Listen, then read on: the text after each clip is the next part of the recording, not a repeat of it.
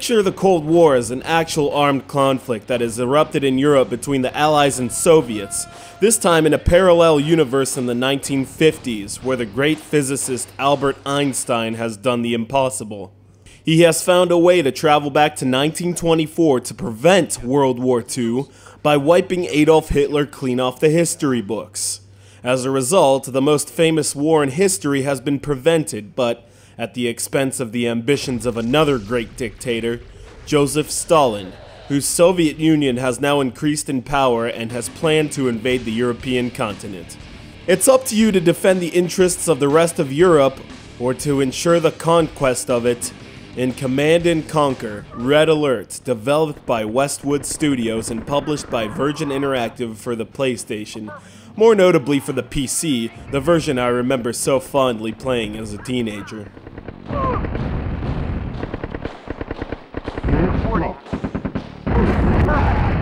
This was my first step into real-time strategy, and to be sure, it is still top 3 in my favorite RTS games, not to mention the expansions Counterstrike, The Aftermath, and Retaliation, the combination of the two with plenty of goodies. To be sure, this game has an excellent check and balance system that forms the makeup of each unit.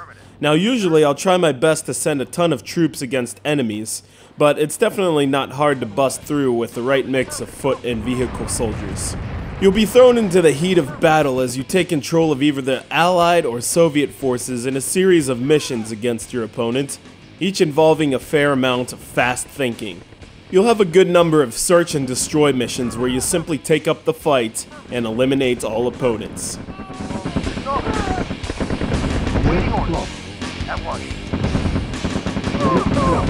During your missions with the Allies, you can come into control of the lovely Tanya Adams, a badass female commando who can blast away foot soldiers in one shot and also detonate buildings.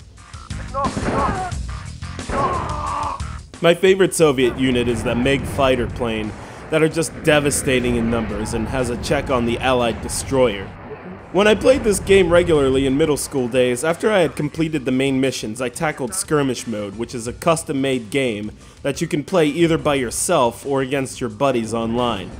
I prefer this mode since it's up to you how well you do, and there's no mission objective except to eliminate the enemy.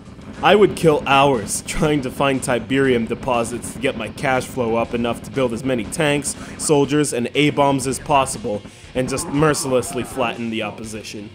To get to that point is hard, however, when you must strike a balance between getting enough defense for your base, as well as sending units to attack, but with enough practice and guts, you'll surely come out the victor in battle. The quotes from the live cinematics are lines that I'll never forget in my life. Comrade Stalin's cabinet still makes me laugh to this day at how typically ruthless the Soviets are. Destroy the town and kill everyone in it. It is vital to our propaganda efforts that we take Berlin before Comrade Stalin's birthday. Red Alert has also garnered critical acclaim for its god awesome soundtrack that sounds like a combination of Pantera and Prodigy. So typically 90s indeed. The presentation is also damn good, with beautiful building and terrain designs that just fit for a gritty war game. The unit voices will also leave you quoting them with your buddies. The storyline is so well prepared, using science fiction themes attached to Cold War history.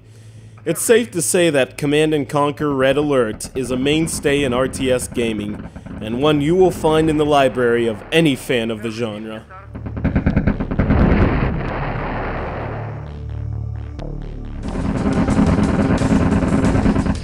Mission accomplished.